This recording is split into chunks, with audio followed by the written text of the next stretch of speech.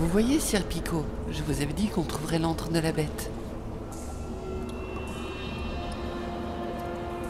Il ne reste plus qu'à pourfendre ce monstre, Sir Picot.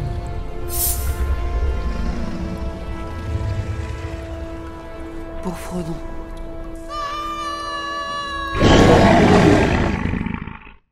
Picot, votre meilleur ami. Mais c'est avant tout une peluche.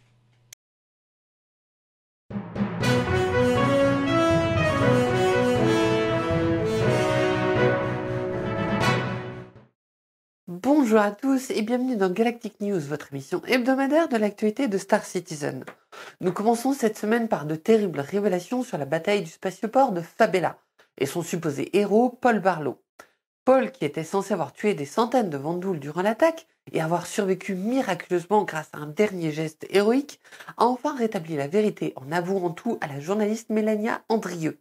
Il raconte comment, en réalité, il avait été de corvée de bière et s'était donc retrouvé à l'extérieur des infrastructures lorsque celles-ci avaient été bombardées par les Vandouls. Et bien que Barlow passe désormais son temps à aider les vétérans victimes de syndrome post-traumatique, son mensonge a entaché à jamais l'image de la Navy. Jeudi, nous avons eu droit à la présentation du fonctionnement des toutes nouvelles chaînes de traitement des minerais. Les équipementiers nous ont également annoncé que chaque station sera spécialisée dans un minerai particulier. Au vu de sa position dans la chaîne d'approvisionnement, il est évident que les tarifs de raffinage varieront en fonction de l'offre et de la demande. Klaus Werner a également annoncé ce même jour la mise sur le marché de trois lunettes réglables, permettant d'améliorer le confort de nos soldats sur le terrain.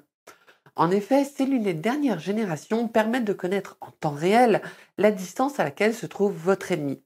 Ainsi, il est quasiment impossible de le manquer.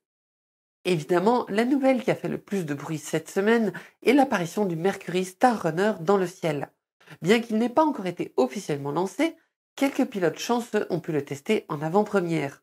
Les retours sont pour l'instant très positifs.